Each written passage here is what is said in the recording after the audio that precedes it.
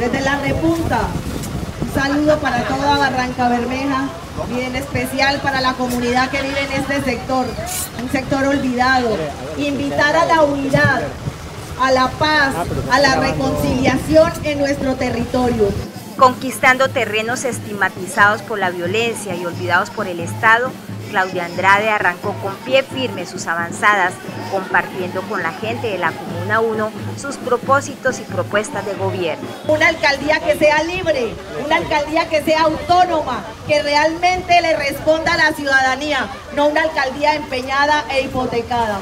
Con su singular carácter de mujer berraca y empoderada, envió un mensaje a quienes por años han secuestrado el progreso de la ciudad. Necesitamos que haya empleo, emprendimiento, que defendamos el medio ambiente, que ordenemos nuestro territorio alrededor del agua, que defendamos nuestra empresa de acueducto, pero sobre todo queremos un territorio en paz, lleno de oportunidades para todas y todos. No hay que temer cambios, no hay que temer a que haya una administración en cabeza de una mujer.